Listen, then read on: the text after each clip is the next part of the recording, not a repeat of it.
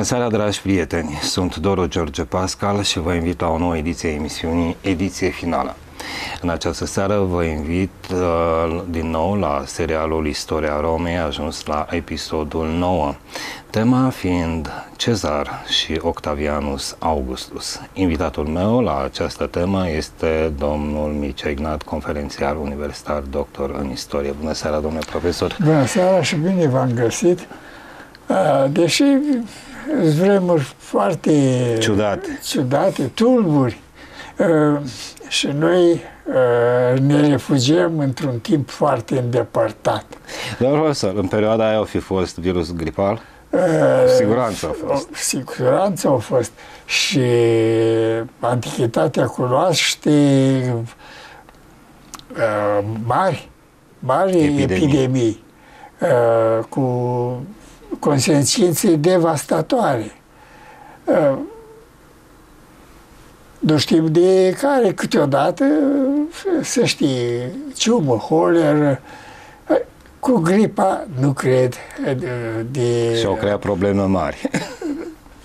Probabil era, dar oamenii uh, nu conștientizau uh, existența virusului. Asta e o descoperire foarte, foarte recentă. Rămas... Și de bătaie de cap. Bătaie de cap, da, bineînțeles. Domnule profesor, rămăsesem în episodul anterior la uh, Gaius Iulius Cezar, care, după cum bine știm, rolul său a fost esențial în instaurarea dictaturii la Roma, apoi lichidarea democrației Republicii și instaurarea Imperiului Roman. Uh, el a provocat războaie de cucerire fără acceptul Senatului Roman. A invadat Galia și, ma, și Bretania a avut uh, multe, multe succesuri în campaniile militare, dar a ajuns să fie la un moment dat detestat de anumite personaje ale timpului. Detestat, uh, puțin zis, chiar urât, uh, dar uh, este acea luptă între aristocrați. Zane. Așa. Să sperăm că nu-i virus. Nu este, uh, De fapt, uh, am, am zis noi că ne refugiem într-un timp îndepărtat, dar sunt multe similitudini cu, cele de, cu zilele de astăzi. Aceeași dorință de putere a măcinat lumea și atunci și, și acum. Și zilele noastre de astăzi dorința numai decât uh, de putere. Se pare că e o tradiție. Uh, probabil e ceva omenesc. Uh, dominația. Ce se întâmplă? Uh, Cesar a fost un uh, personaj de-a dreptul fascinant. Dar, înainte de a porni câteva lucruri despre cele două personaje, uh, mai cu seamă, fiul său uh, adoptiv. adoptiv, ar trebui numele să discutăm. Evident, Gaius Iulius Cezar, deci uh, cele trei, trei anomena. Adoptându-l pe nepotul de soră, acesta primește integral numele părintelui adoptiv.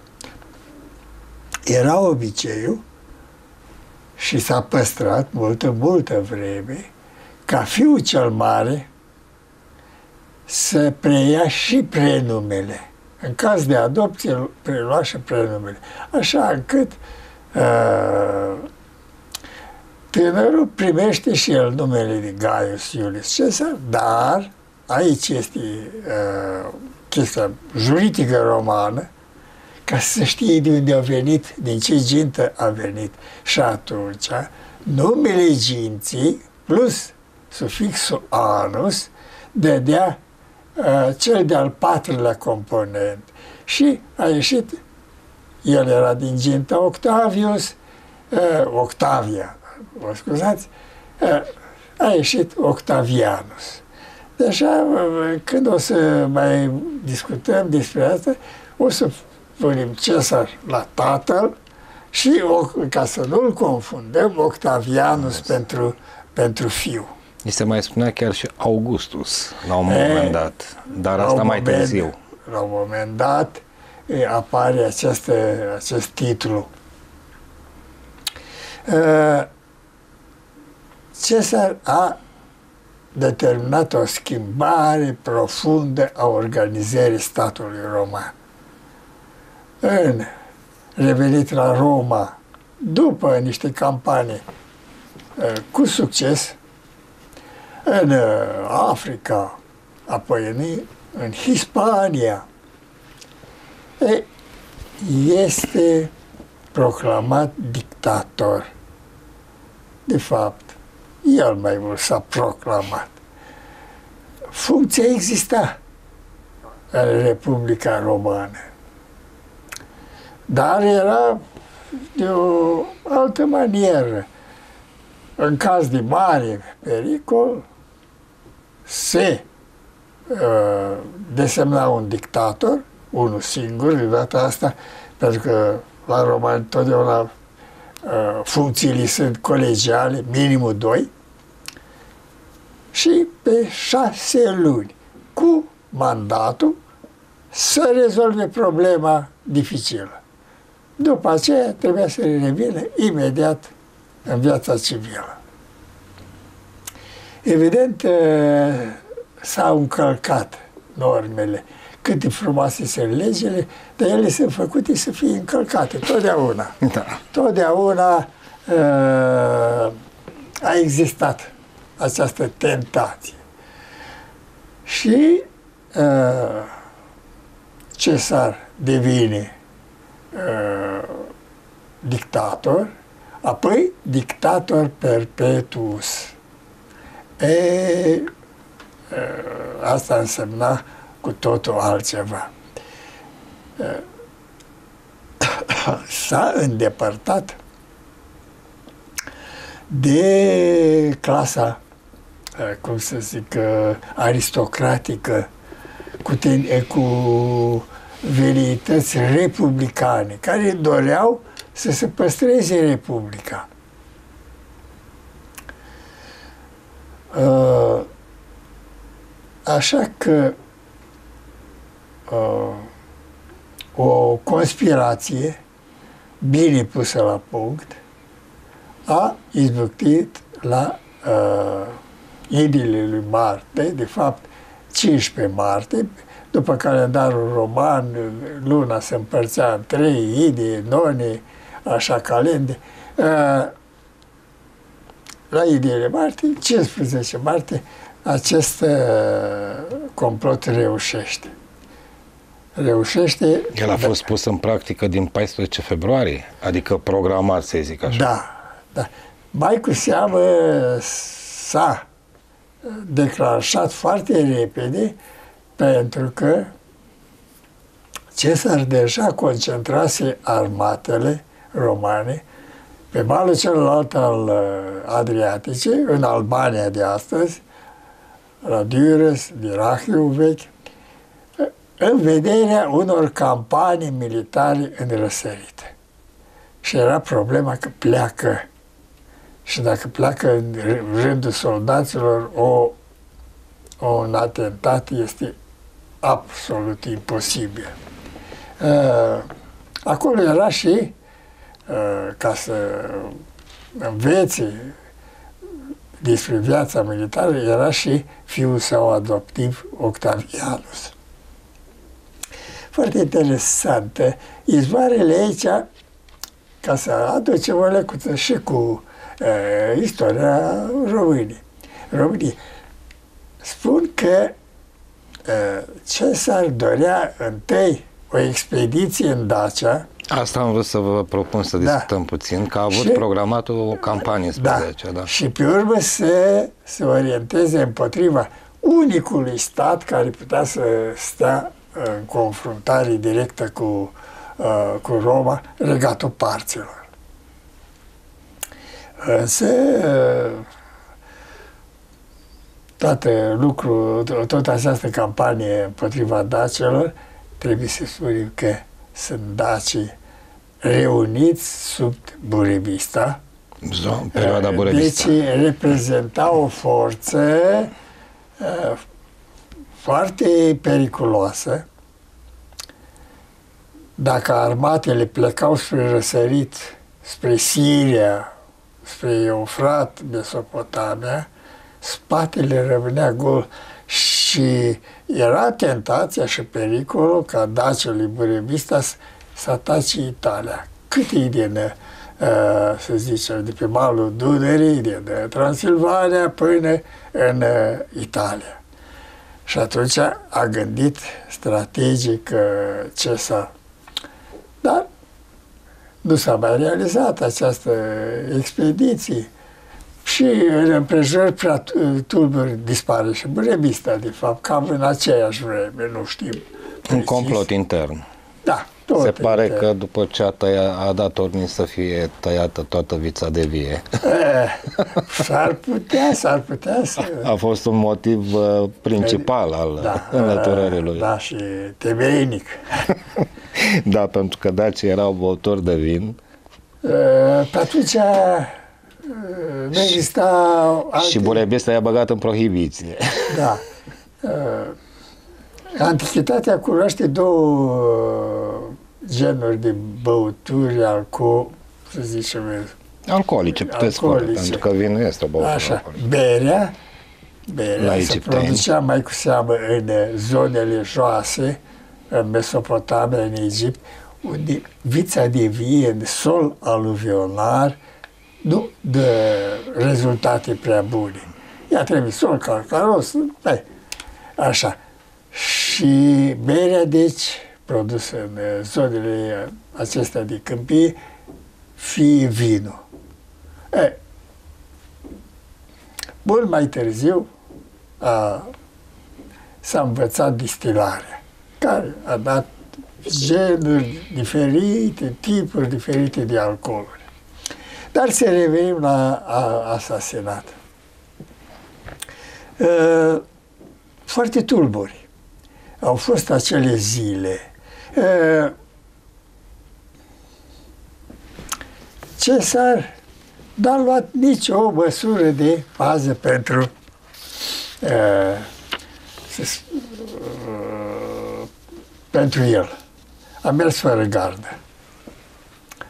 Uh, Este un, pro, Prosper. un profet, îi spusese, i-a trăsese atenția să aibă grijă să se ferească de idele lui Marte.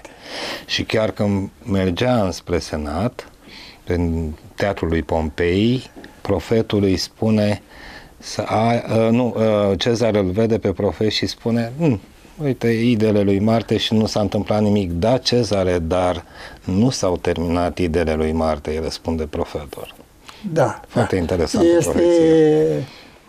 S-au creat foarte multe legende.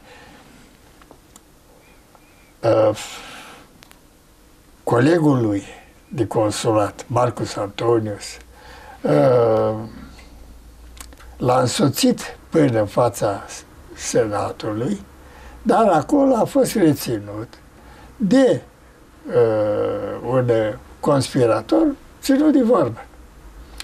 Pentru că uh, Marcus Antonius era un om foarte uh, voinic, un uh, militar de profesie și putea provoca năcazuri. Și uh, uh, oribilul asasinat are loc. Dar uh, foarte bine organizați până au înfipt primele pumnale. Peste 20. Mai mult chiar. 26 de lovituri au fost, Uh, din care una singură a fost cauzatoare de moarte. Da. Mai mult s-au întâmplat să se lovească cu pumnalele conspiratorii. Că fiecare vrea să, să lovească. Uh, ei au crezut conspiratorii, Brutus, Cassius, că ieșind afară, străgând în mulțimii, libertate, gata, au văzut că uh, poporul, oamenii, nu reacționează în niciun fel. Uh, mai mult chiar, sunt împotriva lor. Și mai este o replică care a făcut legendă, scrisă de Suetonius. Da. Chiar și tu, fiul meu, adresându-se lui Brutus. Brutus. Uh, se, de ei s-a brodit că Brutus ar fi un fiu nelegitim. Din flori, un bastard. Uh, mulți istorici nu crede la asta. Uh, dar legende. Uh, William Shakespeare are o piesă uh, remarcabilă. Da. De pregătind altceva, uh, conspiratorii au trebuit să uh, accepte ceea ce uh, partidul ce, al lui Cesar a putut să facă în acele momente, mai cu seamă că Marcus Antonius era consul în, în exercițiu atunci. Și nu mai intrăm în detalii, a reușit să determine Senatul să păstreze legislația lui Cesar, a mai reușit încă un lucru, să-i facă o, o, o mormântare demnă și cu acest prilej a avut loc o manifestare deosebită de simpatie pentru Cezar și înfăptuirile sale, mai ales în momentul în care Marcus Antonius ridică deasupra uh, uh, și arată mulțimii toga cu cele uh, 20 ceva de uh, tăituri de uh, pumnale. Aceasta, uh, acest lucru a produs o emoție deosebită. Dar emoția a venit și cu o substanțială uh, să spunem, o substanțială recompensă, o uh, substanțială danie către popor. Avem 300 de sesterți pentru fiecare roman, evident, din capitală. Așa. Uh, proprietățile lui, grădinii, terenuri, toate să devină uh, uh, ale poporului. Citindu-se acest testament, dintr-o dată, uh, conspiratorii și-au dat seama că trebuie să părăsească Roma. Și sunt o mulțime de episoade uh, foarte interesante. Nu avem timp să, să, să stăruim. Simpatizanți din cetățenii romani au fost arestați pentru că strigau Cezar în momentul da. când acesta era pe catafalc înainte de a-i se da foc da. după ritualul roman. Da, a fost incinerat. Era obicei epoci.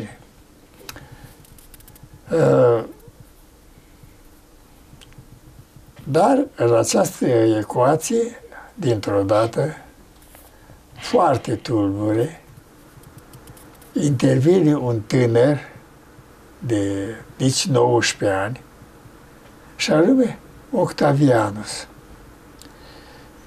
Părăsește armatele din, uh, din uh, zona ilirică și vine la Roma cerându-și moștenirea.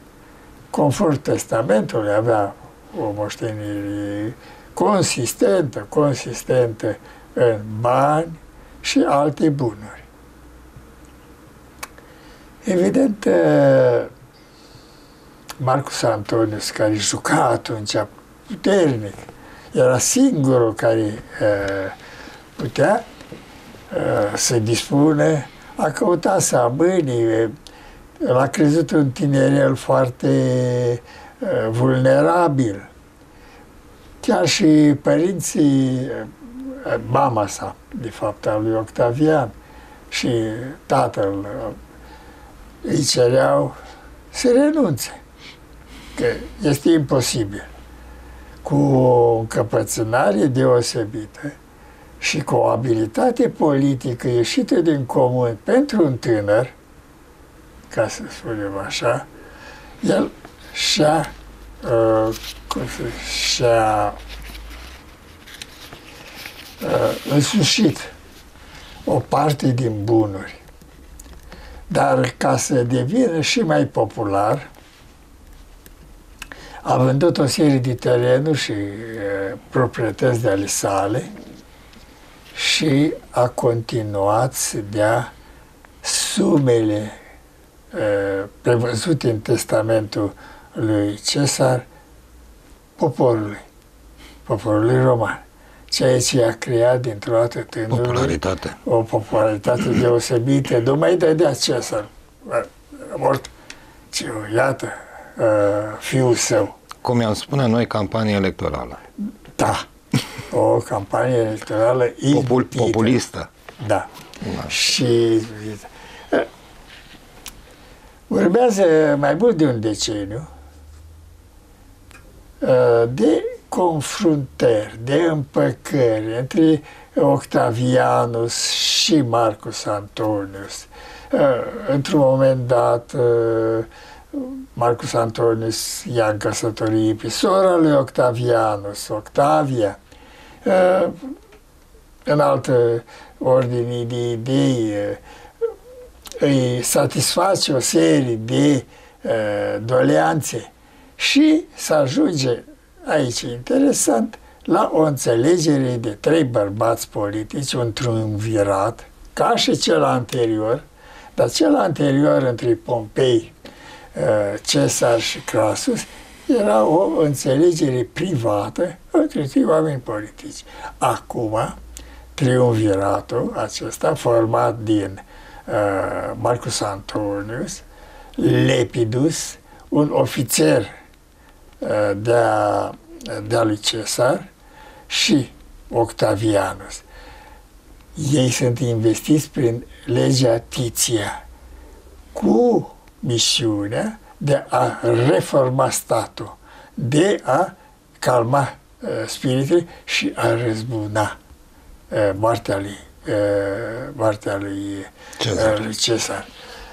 Și are loc campania în uh, Balcani și bătălia de la Filipi, prin care conspiratorii și armata republicană este zdrobită. Sfere de influență, uh, tot felul de, uh, de mișcări.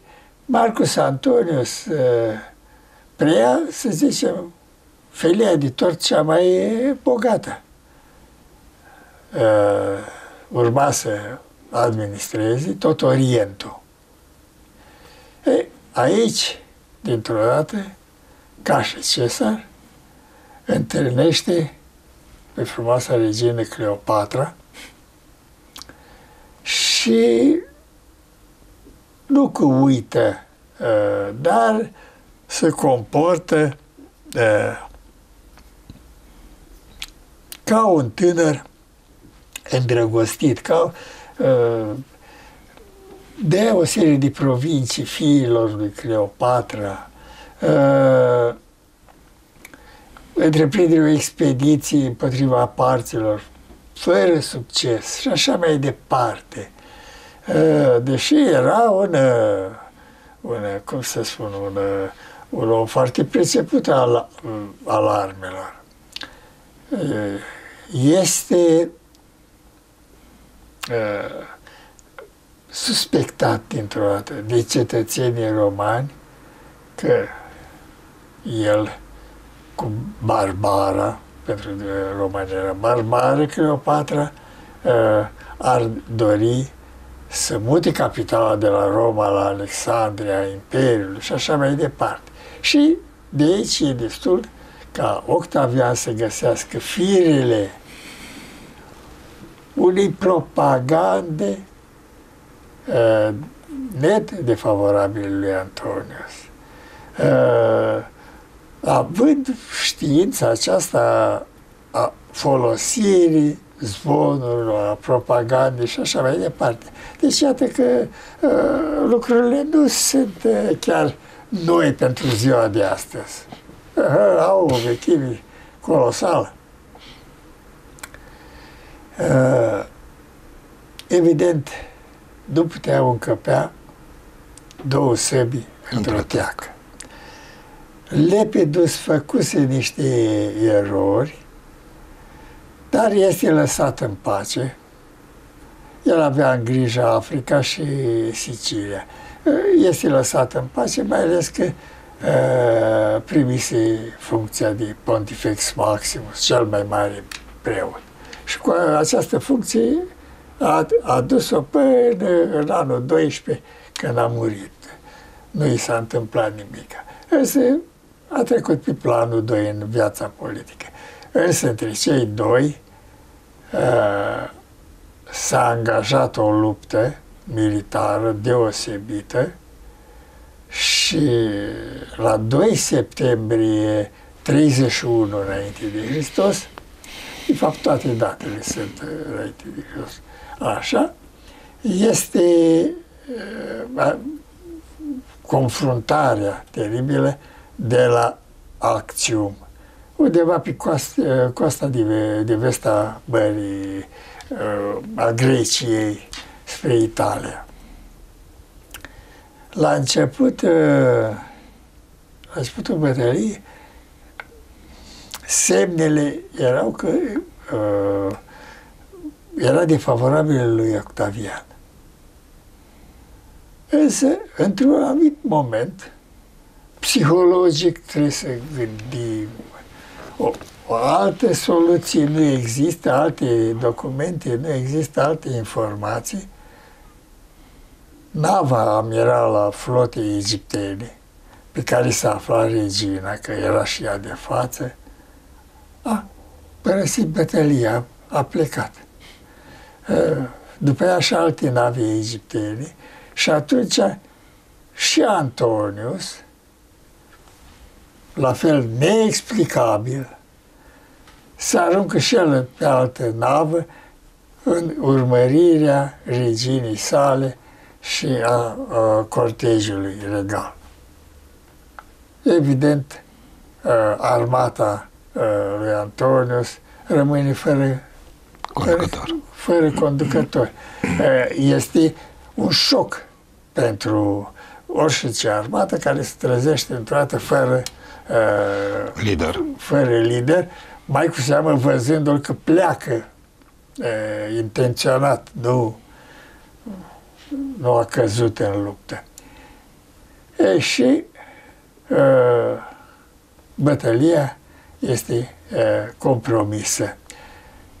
Uh, Augustus, continuând politica de reconciliere, cu a lui, uh, a lui Cesar a mai iertat din combatanți. Nu, evident, nu, nu se referea la soldați, ci la ofițeri, la, la cei care erau în, în funcții importante a armatei.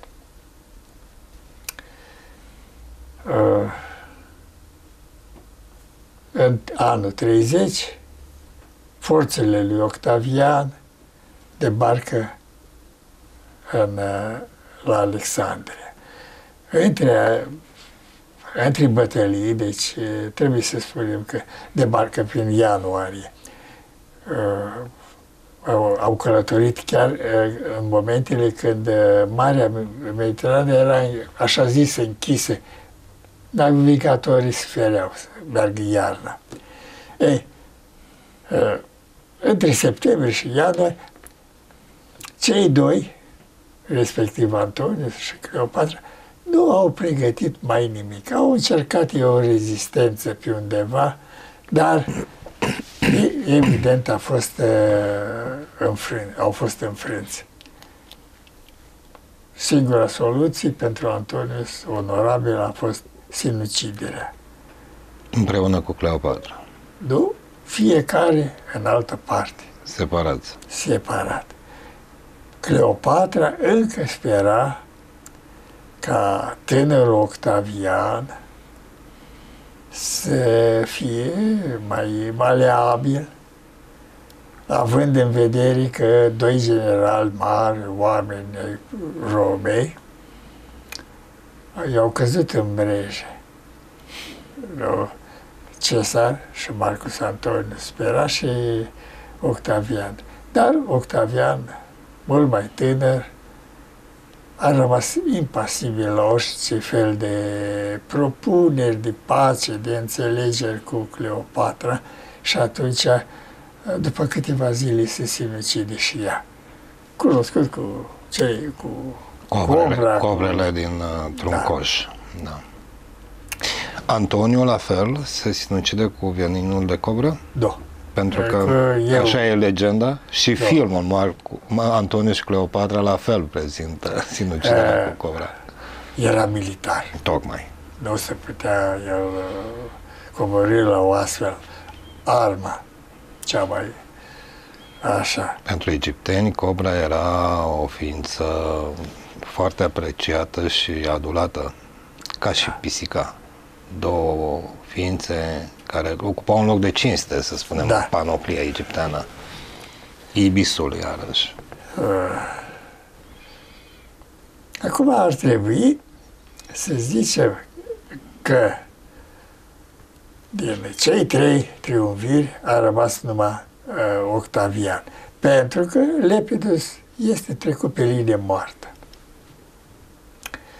Devine uh, uh, stăpânul, să zicem, uh, lumii romane, dar cu multă înțelepciune, cu multe uh, precauție, a căutat să uh, dirigeze politic, uh, politica Romei.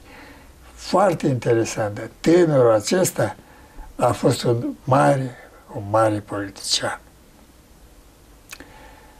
Adormind simțul rep- republican, treptat, treptat a t- trecut la uh, o reorganizare a statului. Bineînțeles, a început cu Senatul, ajungem în anul 27 înainte de Hristos. În uh, 13 ianuarie, el dintr-o dată renunță în mod oficial la toate prerogativele care îi dădea uh, uh, legea Tiția, adică cea de uh, triumvir menit să organizeze statul. Și declară că vrea să se întoarcă în viața uh, civilă, în viața curentă, ca un simplu cetățean. Bineînțeles, nu știm cât de uh, sincer a fost aceasta, pentru că pe 16 sau pe 17, aici e o încurcătură de discuții din calendar, Senatul îi, uh, îi aprobă și alte funcții și alte onoruri. Uh, și uh, acum primește titlul de Augustus. Titlul de Augustus vine din uh, limbajul uh, sacerdotal și înseamnă cel care uh, înfăptuiește toate sub auspiciile uh, zeilor, uh, că înfăptuiește uh, toate lucrurile foarte, foarte bune, uh, cu ocrotirea divinității. Uh, acesta este un titlu, nu este o funcție, dar îl vor păstra toți monarhii uh, romani. Ei, și acum trebuie să vorbim de un lucru, că regimul instaurat de Octavian nu se cheamă monarhie. Aici este o ambiguitate teribilă a, nou, a numele noului regim. Statul tot este Republica Poporului Roman. Deci lucru public al poporului roman. Conducătorul acesta, care devine unic, este princepsul, princeps. Dar nu are conotație monarhică. Este o funcție republicană care s-a acordat celui mai în vârstă, celui mai prestigios uh, senator, care avea dreptul să vorbească primul și să voteze primul. Aceasta era, uh, să zicem, uh, atribuțiile lui sau drepturile sale. Deci este principiu. Nu are nicio conotație uh, monarhică. De fapt, toate documentele oficiale nu numesc împărații romani cu acest titlu de princeps. Este folosit de scritori, de juriști și așa mai departe. Cu toate acestea, istoricii moderni au numit perioada de după Augustus până în 284 după Hristos, deci o perioadă destul de lungă, a denumit uh, istoria Principatului. E Principatul. Uh, și poate o să am timp să, să explic care este diferența între Principat și Dominat. Uh, Augustus, dându-și seama de ceea ce pățise părintele său adoptiv, a fost foarte precaut, dar a luat mai multe funcții. Până în anul 23, deci vreo 5 ani aproape, a fost an de an consul. Bineînțeles, având coleg. În 23 renunță la consulat, dar e altă funcție foarte importantă, și anume puterea de tribun. E, această putere de tribun îi dădea să fie inviolabil, avea dreptul de veto să se opună legilor votate de adunările populare, de senat și așa mai departe. Puterile, puterile de tribun erau foarte mari. Și alături de aceasta era în continuare imperator adică comandantul arma, suprem al armatei. Deci, un regim, să zicem, în aparență republican. Toate funcțiile sunt republicane. Și consul, și putere tribunicea potestate, și uh, acesta Pontifex Maximus care l-a luat, dar l-a luat de Pontifex Maximus după ce a murit în anul 12 uh, Lepidus. Așa. Uh, nu mai zic o, un titlu, dar cu, uh, cum să spun, cu conotații foarte interesante. Pater Patrie, Părintele Patrie. Să ne aducem aminte că Pater Familias avea dreptul de viață și de moarte asupra uh, familiei sale, membrilor familiei sale. E, așa și acum și, August, și Augustus are drept de viață și de moarte asupra uh, cetățenilor. Poporului, cetățenilor. Deci vedem cât de, de abil a jucat uh, a jucat uh, Octavianus. Octavianus. Uh, numai să zicem că uh, a căutat să introducă noțiunea aceasta de Pax Augusta. În anul 20, după Axium, revenit în, uh, ca rămas în 30, a fost în Egipt, pe urmă a făcut niște călătorii în zona orientală, organizând uh, noile, pro, nu noile, provinciile, cele care erau de fapt partizane al lui Marcus Antonius. Ei, în 29 ajunge la Roma și cu ocazia asta se face un lucru deosebit și anume se închide te, porțile templului Ianus.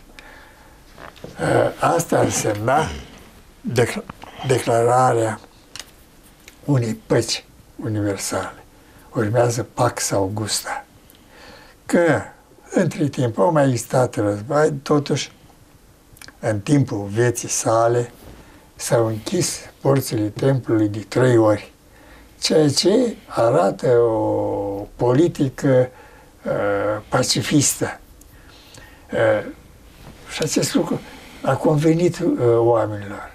În locul confruntărilor foarte crude ale războaielor civile, uh, stabilitatea, pacea a însemnat un lucru deosebit.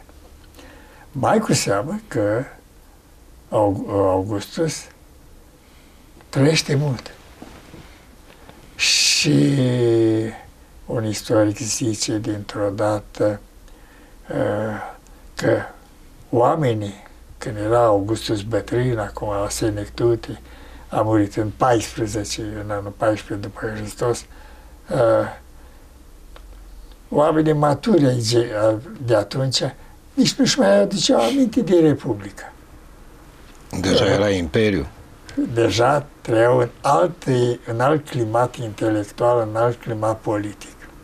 Și Octavianus și-a mai alocat un nume, Divi Filius, Fiul Divin. A, asta chiar atunci, în 43, obținând recunoașterea adopției, și-a adăugat imediat Divi Filius. Era fiul divin al lui Cezar, Divi Filius Cesare. Marcus Antonius a fost un politician destul de bun.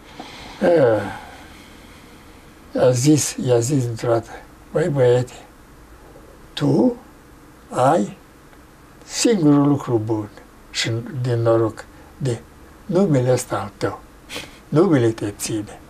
Dacă era Gaius Iulius Cesar și el, ca uh, fiu uh, adoptat de, de uh, Cesar. Cesar. Uh, trebuie să spunem că jocurile politice câteodată din acele perioade au fost chiar și murdare. De exemplu, asasinarea lui Cicero,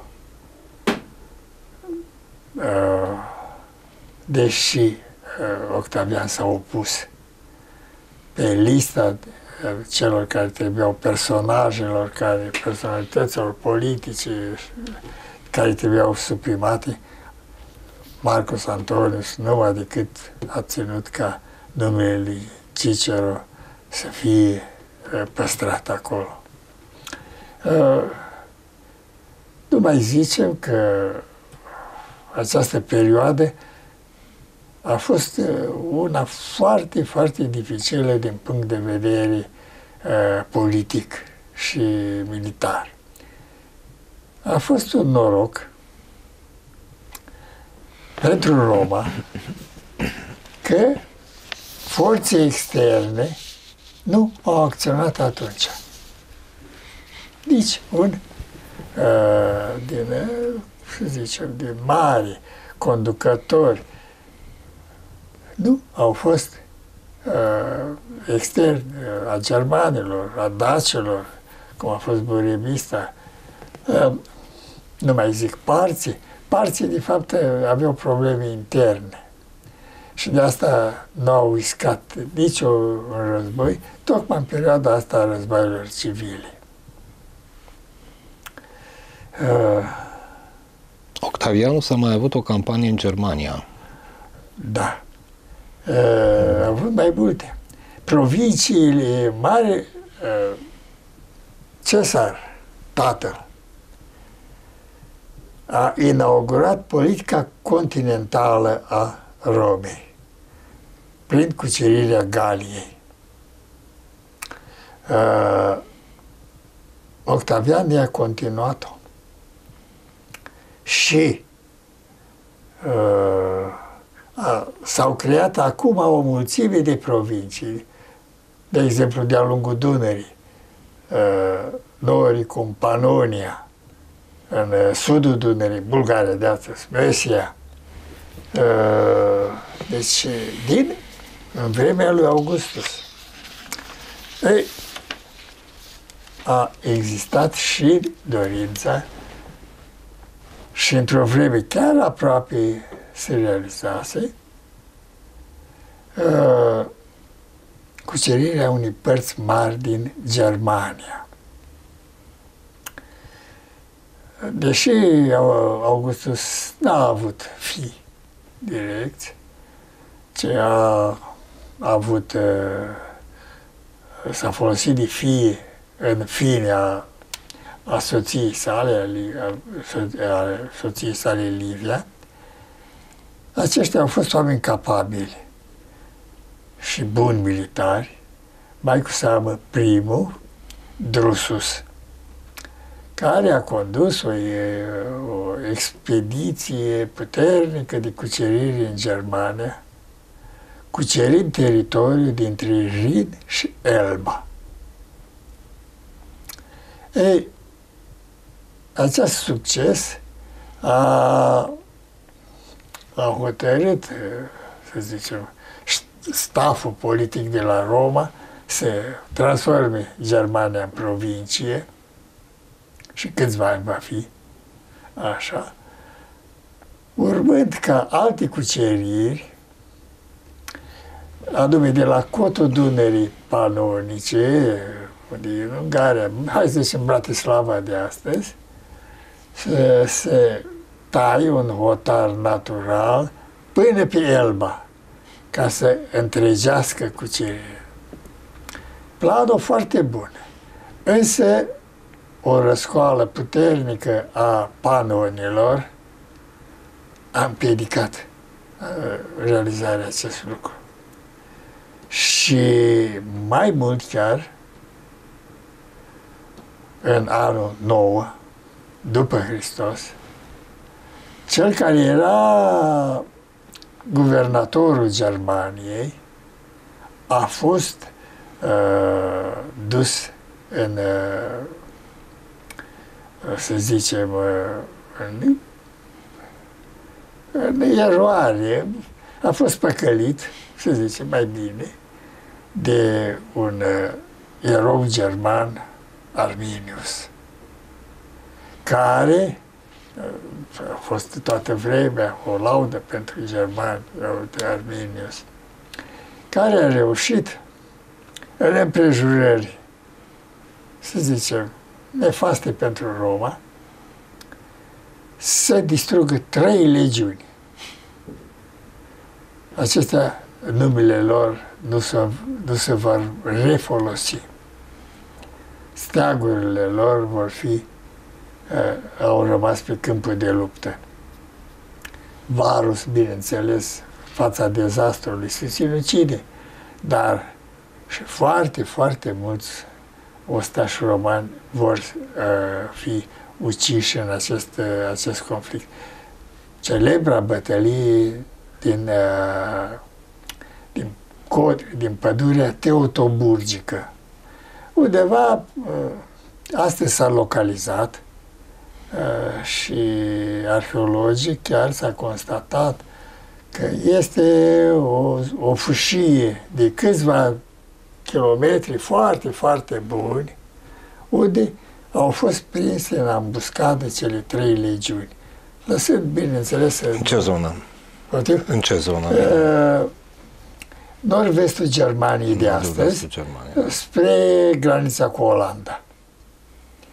Într-o zonă mlăștinoasă, erau uh, păduri foarte dese, ne cunosc, nu cunoșteau locul, mai cu seamă că au fost uh, duși în eroare foarte, încă cu o seară înainte, Arminius uh, a fost în vizite la, uh, uh, cum să zic, la Varo. E,